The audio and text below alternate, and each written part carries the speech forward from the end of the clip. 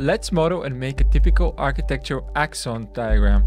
A true isometric view with Blender cycles in Krita where we don't have to manually trace anything. That's right, completely open source tools and lightweight post-processing for generating beautiful diagrams like big architecture. We'll go through creating the building, setting up the rendering properties, materials and compositing in Blender, and then post-processing with Krita. The final files are available on Patreon in case you would like to use them.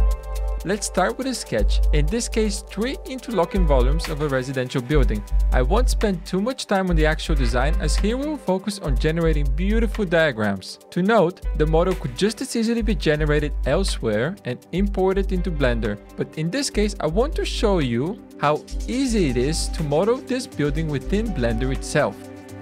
So after drawing the sketch, we jump into Blender, delete the default cube, I'm sorry default cube, and we draw a plane. This plane is going to serve as our site setting.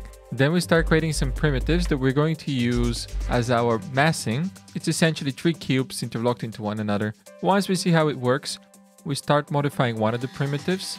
And the first thing we need to do is move the origin point to the ground level as opposed to, to the middle of it. And then change the size of it to 16 by 16 meters. So we'll move each of the boxes 10 meters in the x direction and 10 meters in the y direction and make them a little bit shorter so we have a nice composition similar to the sketch. Let's make the side that it sits on actually 50 by 50 meters. And next we're gonna add a boolean and connect all three of them into one object. With the bool tool add-on, join all the cubes into one cube and apply the modifiers. We now have our base mass. Now we need to clean it up in order to be able to subdivide it properly to insert a face with the tissue tessellation add-on. So we'll start by adding loop cuts wherever we can. And wherever we cannot, we'll select an edge and then right click and select subdivide to add an extra vertex.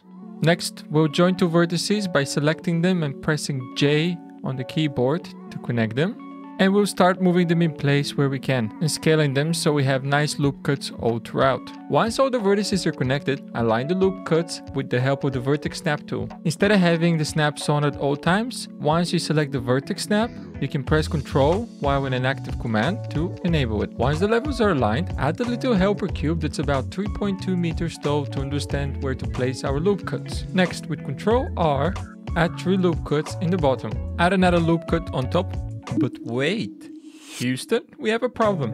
A few disconnected loop cuts. The lovely experience working with mesh topology.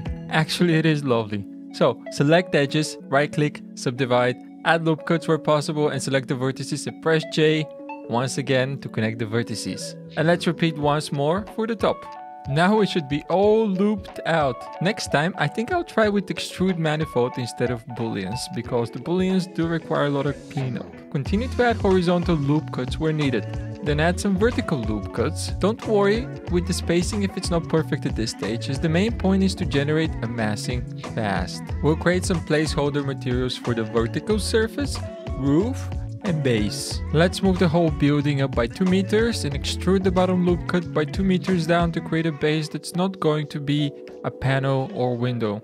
As for the facade, Initially, I was thinking to do simple insets, but then I thought it would be better to create panels and tessellate with the tissue add-on that comes bundled with Blender. Check out this video in case you're interested more in tissue as it's one of the best tools available for architecture within Blender. So for the panel, we start with a simple plane and then we create an inset. We move that inset slightly in and that's going to be sort of a window and we have the solid area, which is the size that we have. Let's add a few loop cuts for the windows and that's going to be the frame of the windows.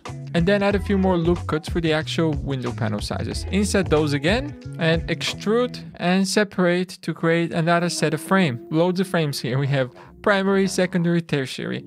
And lastly, let's assign some materials to have our file better organized. I find that the more time I spend in setting up materials early on, the more seamless the process is once we're ready to assign those materials with proper definitions and textures and so on. So next, let's extrude the bottom and add a balcony with a balustrade. Now this panel is not quite to scale yet, so it doesn't matter what size the balustrade height is as long as it looks proportionally well to the window size.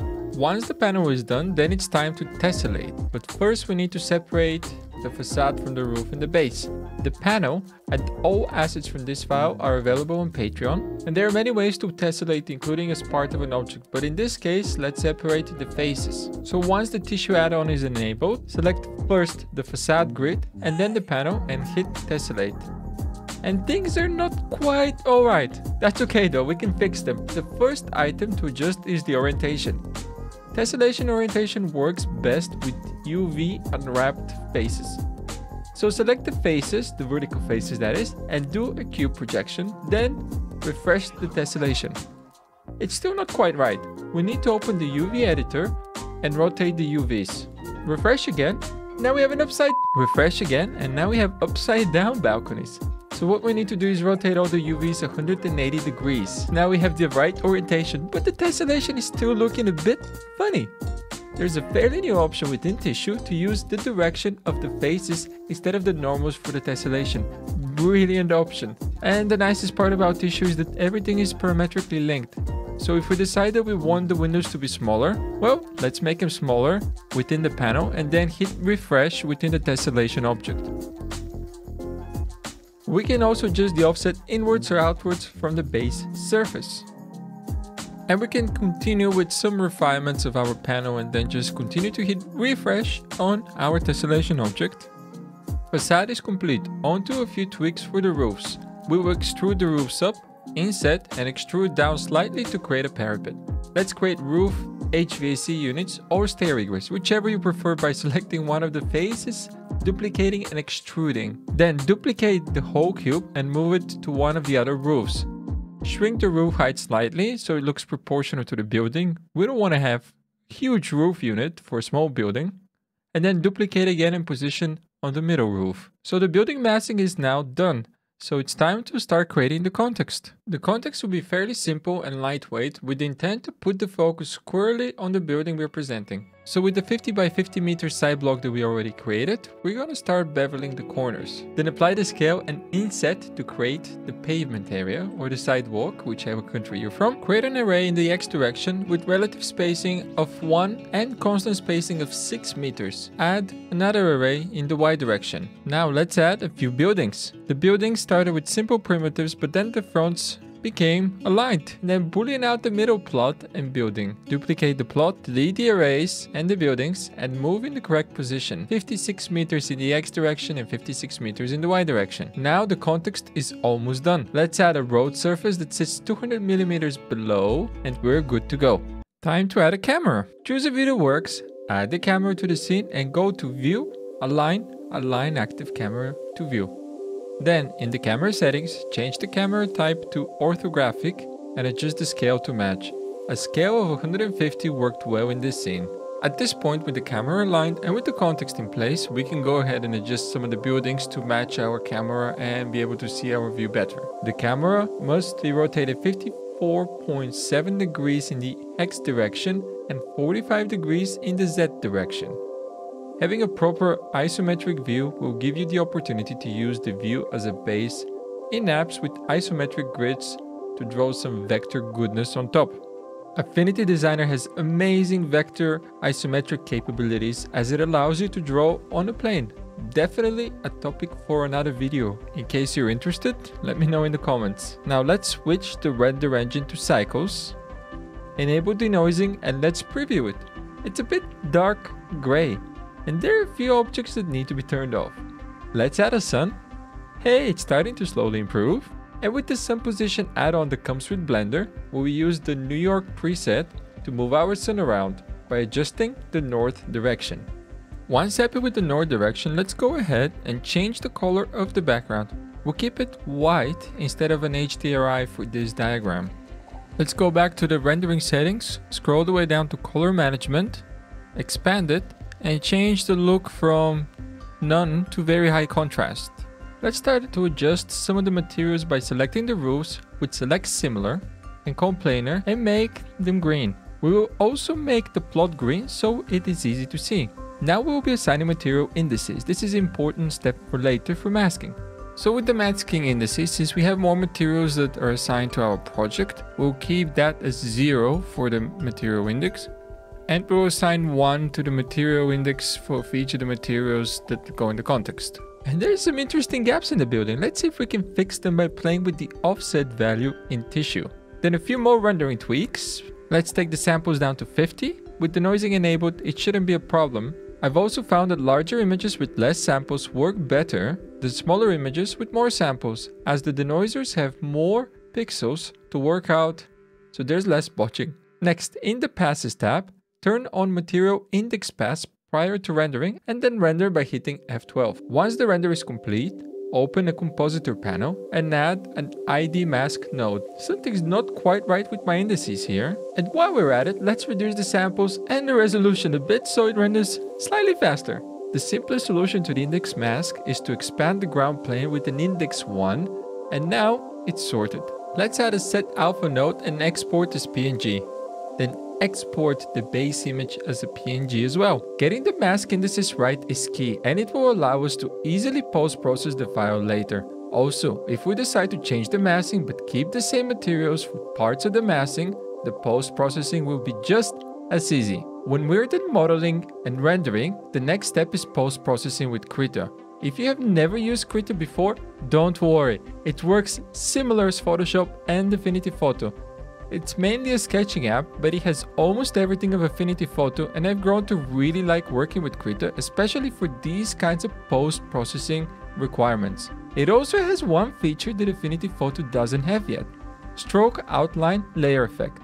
You can get Krita at krita.org for this part, you don't need to have any prior experience with Krita. So let's start by opening the image and dragging the second mask image into the same file and clicking load this new layer. Then control click the mask layer to select the area and click the small arrow next to the plus icon to open the menu of all the different layers and masks available to add. In this case, we will add a filter layer, which will influence only the selected area. The filter layer we will use is levels. Now let's adjust the levels to brighten the image. Next, we'll do the same, but this time with the inverted selection. So select the mask layer again with control plus click, then go to select, invert the selection area. Now add another filter layer that will adjust the levels of the context. And then let's rename the layer so there's something a little bit more useful. Let's adjust the original mask layer now. Due to filmic, the color space gets constrained to make sure that the gamut fits between the values of an 8-bit image. Because of this, we have to brighten our mask to make it completely white. So instead of adding a non-destructive levels layer, we'll now go to the filters menu on the top and add levels in that way. And let's bring the whites all the way up to half. Now the level should be properly white. Next, right click on the layer, go to layer styles and enable stroke outline. Change the opacity to 100 and make it a little bit thicker or thinner as you like. Press OK. And when we exit out, we have our black outline. Let's change the layer's opacity from normal to multiply and the white goes away. We're just left with the black outline. And we can also tweak the levels of both the foreground and the background as we find suitable. The image is almost done. It needs maybe one more thing, which is trees. So we can make trees quite simple with a couple of brush strokes. So once we're happy, we can duplicate that tree around or we can make a brush that we can use later. If you're interested to know how to make brushes in Krita, I'll be putting a little short video snippet on the Patreon page. So the image should be done by now, so it is time to export. Bonus tip, to enable the default File Explorer in Krita, go to Settings, Configure Krita, Miscellaneous, and check the option near the bottom to enable the native dialog. Now, if we go back to Blender and adjust the masking, export the images again and open them in Krita, we will not have to trace the outline as the masks will be updated. Thanks so much for watching. Files and some small bonus videos are available on Patreon that show a few more tweaks like how to export from Blender faster. How do you find this workflow? Happy to hear your comments and also what other videos you might find useful for architectural design.